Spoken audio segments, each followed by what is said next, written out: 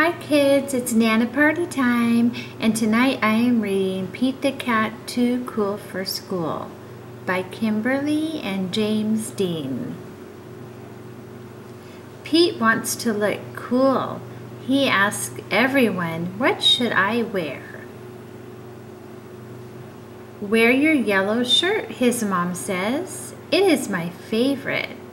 So Pete does.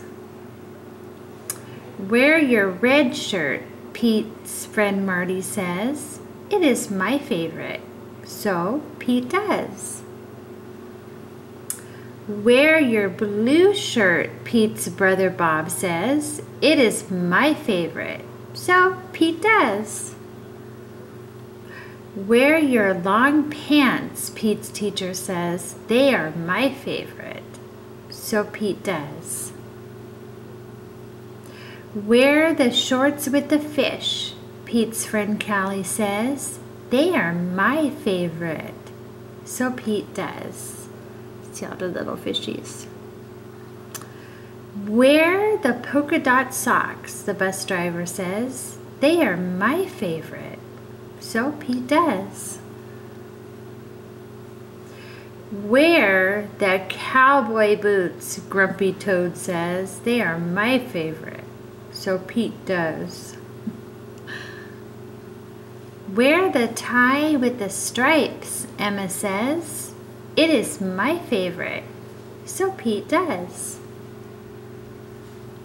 Wear the baseball hat, his coach says. It is my favorite. So Pete does. Pete puts on all the clothes. Does he look cool? I don't think so. no, Pete looks silly. He also feels very hot. Pete goes home and he changes his clothes. Pete puts on his favorite shirt. Pete puts on his favorite pants. Favorite shirt is a yellow t-shirt that says cat on it. And then his favorite pants are blue jeans.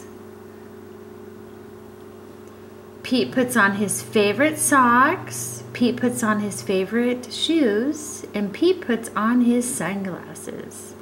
Pete says, Now I am cool.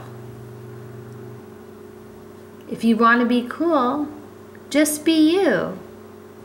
And that's the end of the story. If you like the story, like the video, make a comment that you loved it and um, you'll be entered into a contest for February, Valentine's Day, and I'll pick a winner, and you'll somebody might win a free ebook, and that will be. Um, yeah, that'll be fun. So remember, like the video, make a comment.